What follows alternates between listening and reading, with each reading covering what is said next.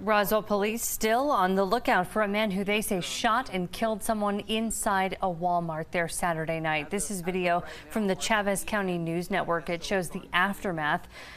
Investigators believe there was some kind of dispute between two men before shots were fired. The victim was taken to the hospital where he later died. Officials say the man who fired the shots took off from that Walmart. Roswell police say, though, this was not an active shooter situation, but again, no one's in custody yet. The Chaves County Sheriff's Office says investigators do believe they know who they're looking for.